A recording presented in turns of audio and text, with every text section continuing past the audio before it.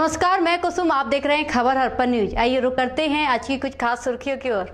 मध्य प्रदेश के राजगढ़ व्यारा के पास सिप्टर Dzire M P zero seven C D five six one nine accident 6 दिसंबर 2021 को व्यावरा के पास हो गया। उसकी सूचना कार के ऑनर कुलेंद्र राठौर ने व्यावरा के देहात थाने में और बीमा कंपनी को सूचना दी। गाड़ी को रिपेयर के लिए वंदना मोटर्स राजगढ़ में लाया गया। बीमा कंपनी के द्वारा कार के मालिक को एक लाख अस्सी हज़ार का रिपेयर। स्टेटमेंट कॉस्ट का एसएमएस दिया गया। साथ ही सर्वेयर विकास लाभांशी उस पर कार्य करने के लिए बीमा कंपनी ने नियुक्त किए, लेकिन कंपनी के सर्वेयर बदलकर आसिम अली को नियुक्त कर दिया गया। बीमा कंपनी को इफ्को टेक्यो कंपनी के सर्वेयर ने ग्राहक कुलेंद्र राठौर से पैसे की मांग करके गाड़ी को टोटल लॉस में दिखा दिया गया। यह सब मामला और उन्होंने पैसे न देने के कारण कर दिया, क्योंकि ग्राहक गाड़ी की मरम्मत कराने को तैयार था और सर्वेयर आसिम अली ने गाड़ी को टोटल लॉस में डालकर उपभोक्ता के साथ चीटिंग की। उपभोक्ता कुलेंद्र राठौर ने इफको टोक्यो कंपनी के कई वरिष्ठ अधिकारियों को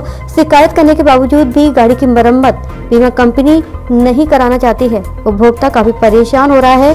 कंपनी बार बार टोटल लॉस का भुगतान करने की बात कह रही है। उपभोक्ता हमेशा वाहन की सुरक्षा के लिए कंपनियों से बीमा कराता है, परंतु यहाँ पर बीमा कंपनी उपभोक्ताओं के साथ सीधा सीधा धोखाधड़ी करने का प्रयास कर रही है। उपभोक्ता कुलेंद्र राठौर। अपनी गाड़ी की मरम्मत कराने को राज़ी है और कंपनी के वाहन को टोटल लॉस में डाला है। जब उपभोक्ता बीमा कंपनी में बीमा कराने जाते हैं, तब कंपनियाँ तरह तरह के प्रलोभन देती है। जब उपभोक्ता को क्लेम की आवश्यकता होती है तो कंपनियों के द्वारा उपभोक्ताओं के साथ चीटिंग की जाती है।